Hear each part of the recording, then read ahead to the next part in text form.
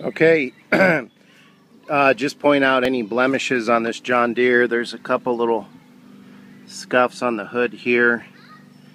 There's a little bitty crack right here. A couple little scuffs here. Tires are good.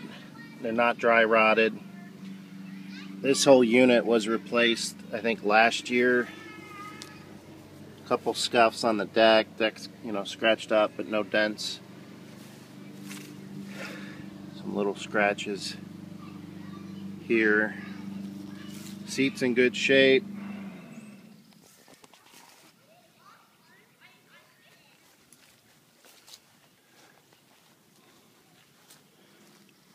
This bagger has this crack here and this piece of molding come off. This side's pretty good.